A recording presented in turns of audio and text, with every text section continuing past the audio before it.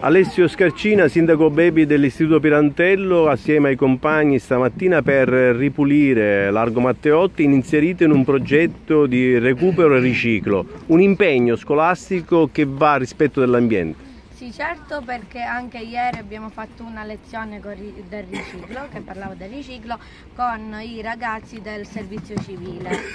Qui eh, noi stiamo ripulendo Piazza Matteotti per la settimana del, del riciclo, della settimana europea del riciclo e cerchiamo di comunicare agli altri di eh, fare di meno, ri, meno, rifiuti e di mantenere sempre l'ambiente pulito. Un appello ai tuoi coetanei?